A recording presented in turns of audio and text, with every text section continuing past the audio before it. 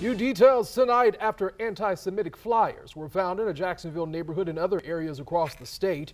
U.S. Representative and Florida gubernatorial candidate Charlie Crist is now calling for the U.S. Department of Justice to investigate. Police have reported finding the flyers in Boca, Sarasota, Fort Myers, and Orlando, in addition to Jacksonville.